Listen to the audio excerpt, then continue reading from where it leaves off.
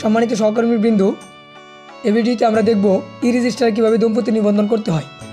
ই রেজিস্টারে দম্পতি নিবন্ধন করা যায় দুইভাবে। প্রথমত, গ্রামে প্রবেশ করে খানা থেকে, দ্বিতীয়ত, দম্পতি ছক থেকে। এখন আমরা দেখব গ্রাম থেকে কীভাবে দম্পতি নিবন্ধন করা যায়।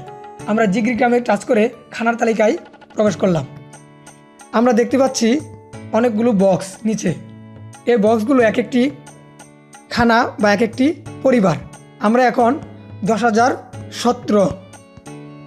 আরিফ হুসাইনের বক্সে টাচ করে আরিফ হোসেনের খানায় প্রবেশ করব। আমরা আরিফ হুসেনের বক্সে টাচ করলাম।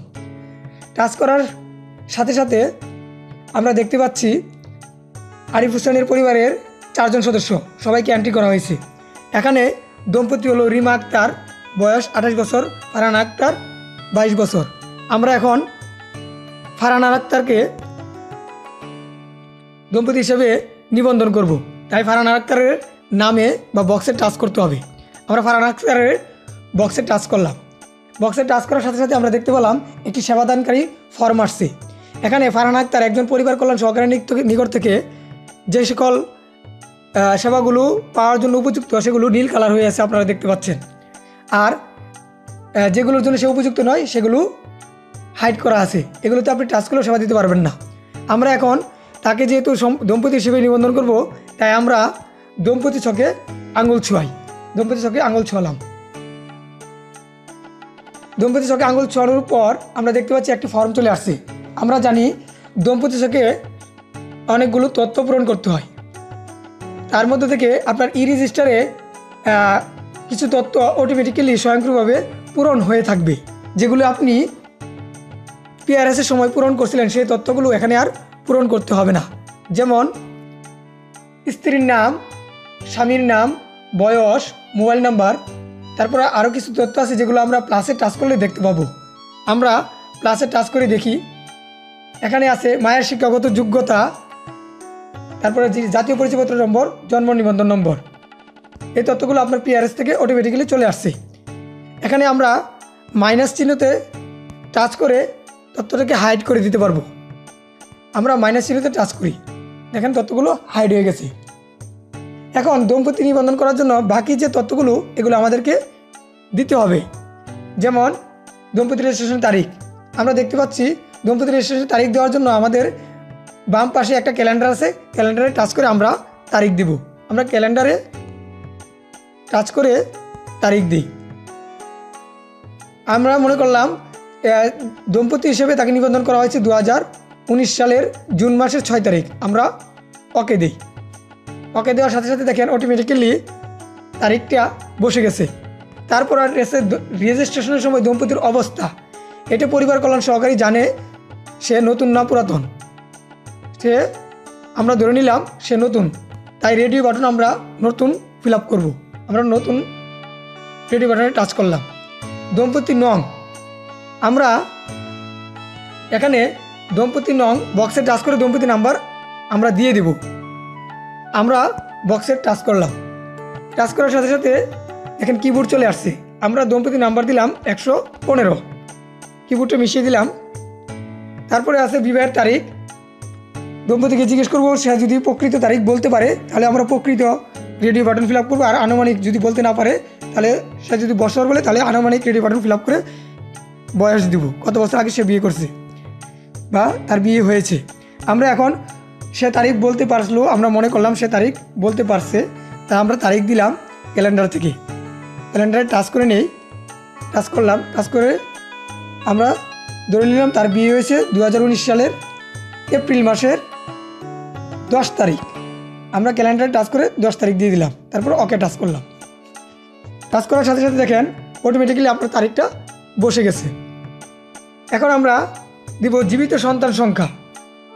যেহেতু সে নতুন বিবাহিত, আমরা আমরা জানলাম তার সন্তান নেই। যদি সন্তান নাও থাকে, তাহলে বক্সে টাচ করে সন্তান সংখ্যা শূন্য দিতে হবে। কোনো বক্স ফাঁকা রাখা যাবে না। আমরা বক্সে টাচ করলাম। টাচ করে শূন্য দিলাম। আবার মেয়ের বক্সে টাচ করলাম, শূন্য দিলাম। সেক্ষেত্রে যদি সন্তান থাকে, আমরা ধরে নিলাম তার সন্তান একটা আসে দেখি কি আসে। আমরা সন্তান দিলাম ওয়ান ছেলে। যখনই আপনি সন্তান সংখ্যা ওয়ান দিলেন, তখনই চলে আসছে ছোটো সন্তানের বয়স। আমরা ছোট সন্তানের বয়স ধরে নিলাম ছয় মাস। আমরা ছয় মাস আনুমানিক। তাহলে বছরের গড়ে আমরা দিব শূন্য, মাসের গড়ে ছয়, দিনের গড়ে জিরো জিরো।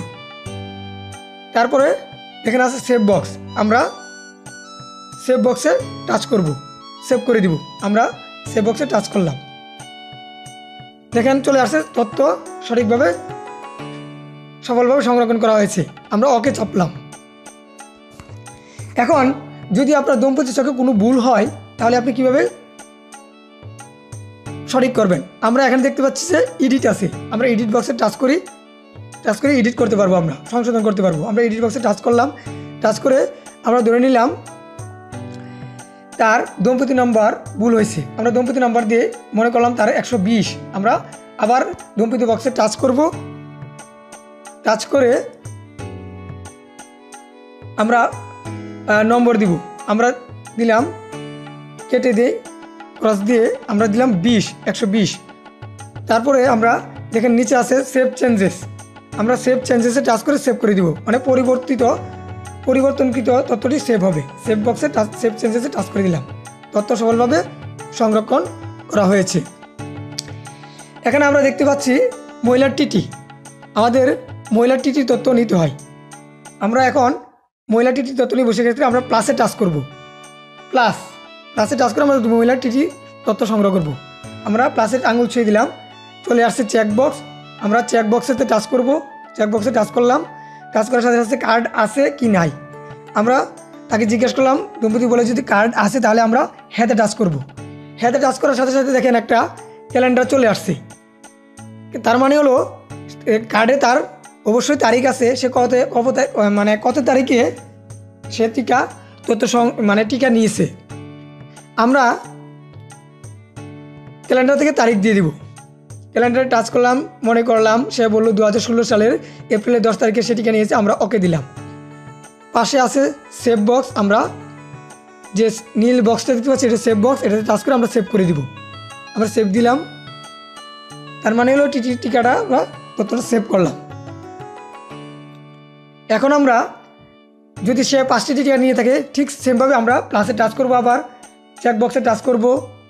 টাচ করার সাথে টিকা আমি মনে করলাম সে এখন যে কার্ডটা ছিল, কার্ডটা হারিয়ে ফেলছি। কারণ আমরা কী দিব? না রেডি বাটন না ফিল আপ করব। আমরা নাতে টাচ করলাম।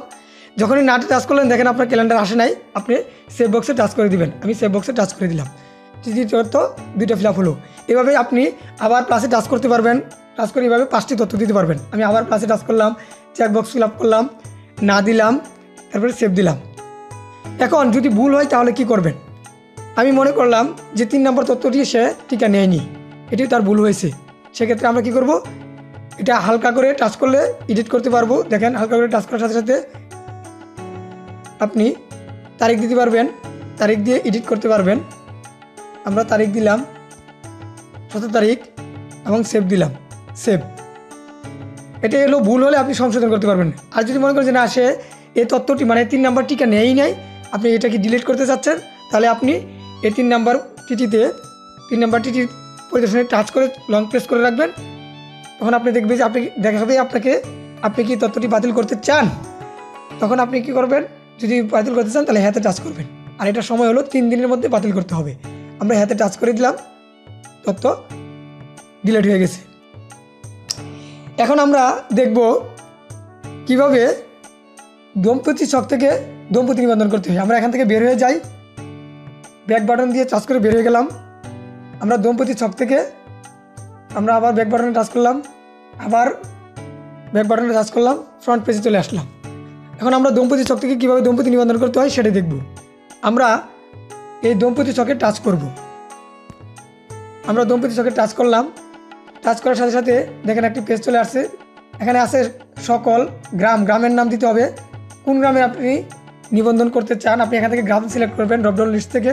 এই যে, আমরা এখন গ্রামে টাচ করলাম, আমি দিলাম জিগরি।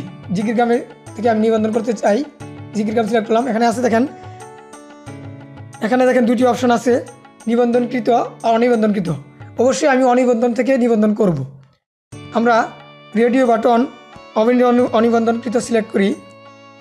অনিবন্ধনকৃত সিলেক্ট করলাম, তারপরে আমরা ডাটা সার্চে টাচ করব। আমি ডাটা সার্চে টাচ করলাম। ডাটা সার্চে টাচ করার পরে দেখেন আপনার এই জিগির গ্রামে অনিবন্ধনকৃত আছে মোট পঁয়- পঁয়ত্রিশ জন। আমি নিবন্ধন করতে চাইলে এই যে আবার বক্সগুলিতে টাচ করব। বক্সে টাচ করলে আমাকে দম্পতি ছকে নিয়ে যাবে। আমি হ্যানা তার বক্সে টাচ করলাম। হ্যানার বক্সে টাচ করলাম।